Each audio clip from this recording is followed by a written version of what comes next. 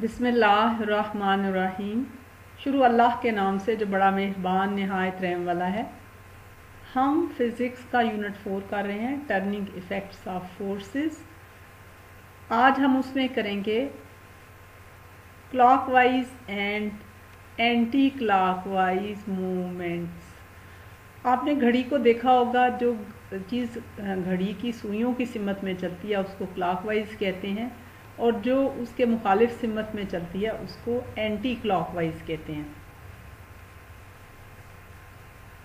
जब भी हमें ख्याल हो कि हम उल्टी सिमत चल रहे हैं तो हमें अल्लाह से रजू कर लेना चाहिए। Turn to Allah before you return to Allah ये तो बात तयशुदा है कि हमने अल्लाह की तरफ़ लौटना है, लेकिन ज़िंदगी में भी अपना रुख अल्लाह की तरफ़ रखना चाहिए। अल्लाह ने तोबा का दरवाज़ा हर एक के लिए खुला रखा है, और अल्लाह को इससे अल्लाह का दोस्त बनने के लिए बहुत ज़रूरी है, हम अपना रुख अल्लाह की तरफ़ कर लें। और वो कैसे किया जा सकता है? अल्लाह ने अपनी किताब भेजी है। हमें चाहिए कि उस पर गौर व फ़िक्र करें, लेकिन जब तक उसे समझ कर नहीं पढ़ेंगे, गौर फ़िक्र कैसे कर सकेंगे? उस किताब में बहुत सारी निशानियाँ हैं, जैसे सूरज का निकलना, रात का आना। हमारे हम आँखों से देखते हैं, सोचते हैं, समझते हैं। प्यारे बच्चों, आज से अपने आप ऊपर लाजिम कर लें कि आपने कुरान जीत को तर्जमे के साथ पढ़ना है। उसकी तिलावत भी करनी है, उसका मतलब भी जानना है, उसके ऊपर ईमान अपना मज़बूत करना है और इन फिर वो अमल में खुद ब खुद आ जाएगा। A force that turns a spanner in the clockwise direction is generally used to tighten a nut. ये काम हम रोज़मर्रा ज़िंदगी में कर रहे होते हैं। अगर आपके पास एक पेचकस है तो आप उसको सीधे हाथ की तरफ़ क्लॉकवाइज घुमाते हैं तो उससे पेज जो है वो टाइट हो जाता है या उससे कसने के लिए इस्तेमाल करते हैं फोर्स को। और ये भी आपने नोट किया होगा कि जब हमने कोई पेज को ढीला करना हो, खोलना हो किसी चीज़ को to loosen a nut the force is applied such that it turns the nut in anti clockwise direction तो हम फोर्स इस तरह अप्लाई करते हैं। कि वो एंटी क्लॉकवाइज घुमाती है, जिससे पेज जो है वो ढीला हो जाता है। आप ये एक्सपेरिमेंट अपने घर में भी कर सकते हैं। तो torque is called anti clockwise movement जब उसको एंटी क्लॉकवाइज घुमाते हैं, और torque is called clockwise movement जबकि हम फोर्स को सुइयों की घड़ी की नस्बत घुमाते हैं। तो आपको अगर क्लॉकवाइज और एंटी क्लॉकवाइज समझने में मुश्किल आ रही है, अपने सामने अपना क्लॉक रखें और देखें उसकी सुइयाँ किस सिमत में गर्दश कर रही हैं और अपने हाथ को भी उस सिमत में घुमाएँ।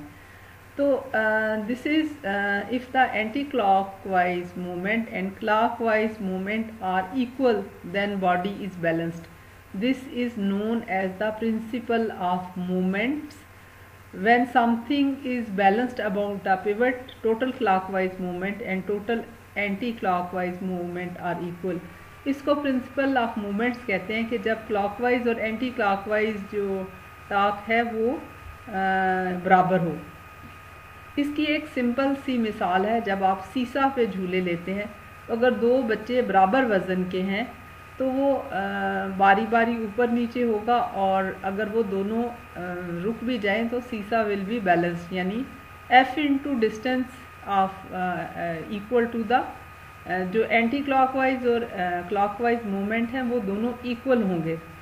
ठीक है? लेकिन अगर आप एक और सिचुएशन सोचें कि जिसमें एक बच्चा ज़्यादा वज़न का है और एक कम का है तो आपके ख्याल में क्या वो झूला ले सकते हैं? जी, बिल्कुल ले सकते हैं, क्योंकि वो उस हिसाब से जो पिवट से डिस्टेंस है, उसको इंक्रीज़ या डिक्रीज़ कर देंगे। आपने देखा है कि जो मोटा बच्चा है, वो करीब होकर बैठ जाता है और छोटे बच्चे को एंड पे बिठा देता है तो इस तरह वो बारी बारी सीसा पे झूले ले सकते हैं। इसको मज़ीद वजाहत के लिए हम एक प्रॉब्लम सॉल्व करने की कोशिश करते हैं। A metre rod is supported at its middle point O the block of weight 10 newton is suspended at point B 40 centimetre from O find the weight of the block that balanced it at a point A 25 centimetre from O एक metre rod पर दो वज़न है point B पर 10 Newton का वज़न है और सेंटर पॉइंट से वो 40 सेंटीमीटर दूर है। और ए का वज़न मालूम करें सेंटर पॉइंट से फासला 25 सेंटीमीटर है। तो हमारे पास जो इंफॉर्मेशन है, वो है डब्ल्यू टू जो है वेट सेकेंड वो 10 न्यूटन है। Moment of the arm 40 centimetre है और moment of arm D one हमारे पास 25 सेंटीमीटर है, लेकिन हमने उसका वेट मालूम करना है। तो सबसे तो पहले हम सेंटीमीटर को मीटर में कन्वर्ट करेंगे, क्योंकि मोमेंट ऑफ़ आर्म जो है वो मीटर में मेजर किया जाता है। अब हम इस इंफॉर्मेशन के ऊपर प्रिंसिपल ऑफ़ मोमेंट्स को अप्लाई करेंगे। हमने देखा था कि clockwise movements are equal to anti clockwise movement तो F two into L two is equal to F one into L one तो अब हमने एफ़ टू जो है, इसे बहुत आराम से कैलकुलेट कर सकते हैं। हमने यहाँ पे जो है वो इंफॉर्मेशन जो है वैल्यूज़ अप्लाई की, उसको सिंप्लीफाई किया तो हमारे पास आ गया 16 यानी F1 जो है, वो 16 न्यूटन है, जिससे कि ये 10 न्यूटन वेट जो है 40 सेंटीमीटर पे, वो बैलेंस्ड होगा। तो twenty five centimetre moment of arm है और इसका जो वेट है, वो है वेट वन का डब्ल्यू वन का 16 न्यूटन तो इस तरह से हम प्रिंसिपल अप्लाई करके कैलकुलेट कर सकते हैं। उम्मीद है आपको सबक पसंद आया होगा। इस चैनल को सब्सक्राइब करें, इस वीडियो को लाइक और शेयर करें।